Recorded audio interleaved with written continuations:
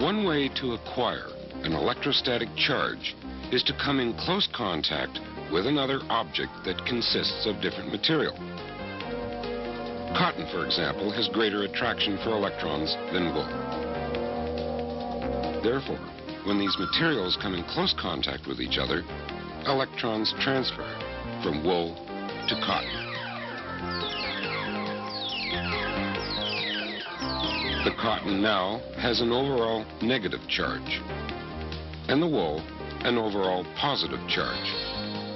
Their opposite charges account for the static cling when you attempt to separate them.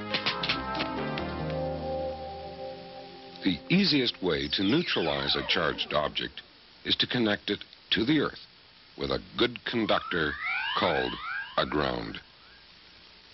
If the object is negatively charged, the excess electrons flow into the ground until it is neutral.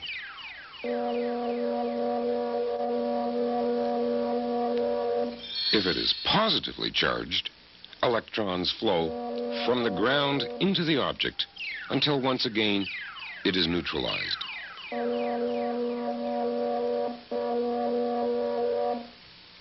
Close contact between two neutral objects is not the only way to acquire an electrostatic charge.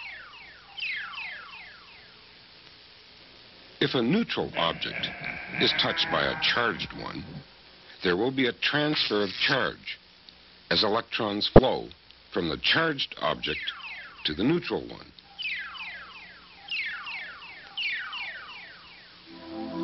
And how do we detect charge? A metal leaf electroscope can be used to detect relatively small quantities of charge. When it's touched by a positively charged rod, electrons move from the electroscope onto the rod leaving an excess of positive charge.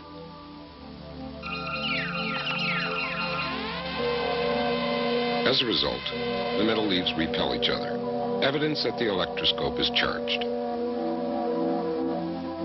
Have you ever noticed that an electroscope, when approached by a charge rod, seems to anticipate what is about to happen? The leaves diverge even though the rod does not make contact. If the rod is removed, the leaves collapse again. What's going on here? Well, let's apply some of the theory we've learned so far. We can visualize the electrical condition of the rod and the electroscope by showing a representative sample of the charges. Since the electroscope is metal, electrons can move with relative ease within it. If as a result of their random motion, some electrons come close to each other. The repulsive forces that they exert on each other ensure that they will very quickly move apart again.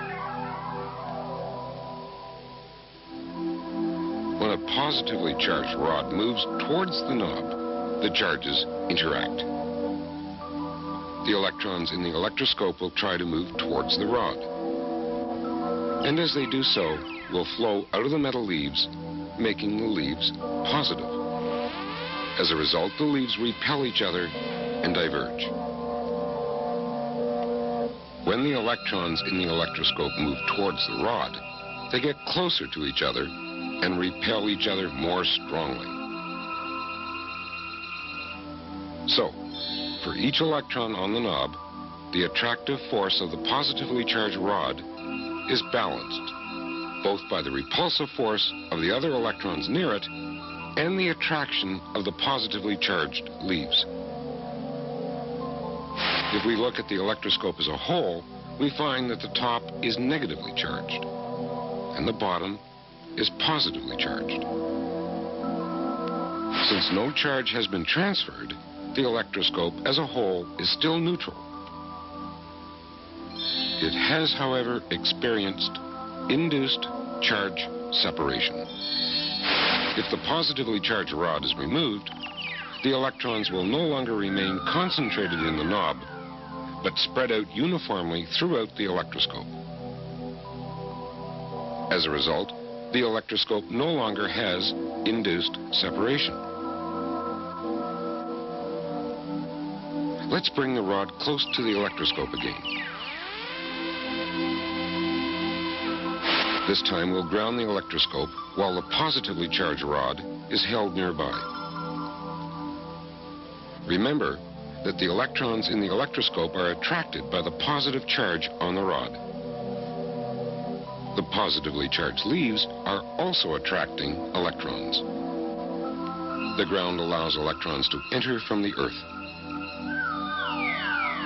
As a result, the leaves of the electroscope become neutral and collapse. If we remove the ground and then the rod, look what happens. The repulsion of the excess electrons will cause them to move as far away from each other as possible. The leaves which are now negatively charged diverge. Because electrons entered the electroscope when it was grounded, it now has an overall negative charge. Surprised? We succeeded in charging an electroscope negatively using a positively charged rod and a ground. Watch this sequence.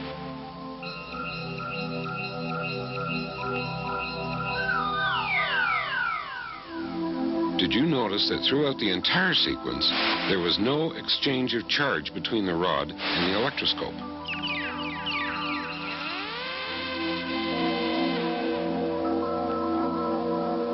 We call this process charging by induction.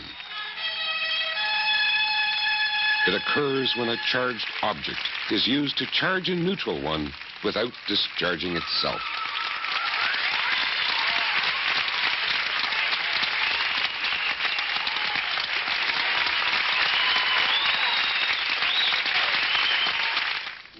Since there was no exchange of charge between the rod and the electroscope, the rod can be used to charge any number of electroscopes.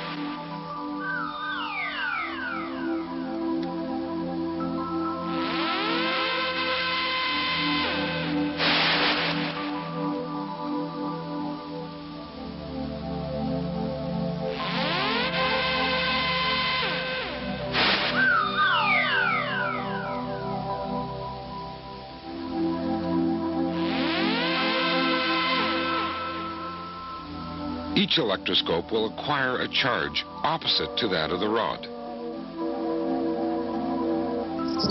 Charging by induction often occurs in nature. Thunderclouds frequently have a strong negative charge, which repels the electrons in the earth below. The result is an induced positive charge on the ground immediately beneath the cloud. If the charge difference between the cloud and the ground becomes great enough, a massive flow of charge results. Mm, some people actually call it lightning and thunder. Benjamin Franklin was the first to demonstrate that lightning is an electrical discharge. He flew a kite in a thunderstorm. When he attached a key to the kite string, the sparks that jumped from the key to his hand showed that the clouds carried an electrical charge that was being conducted by the kite string. You really think so? Of course. In the next program, we will investigate this flow of charge.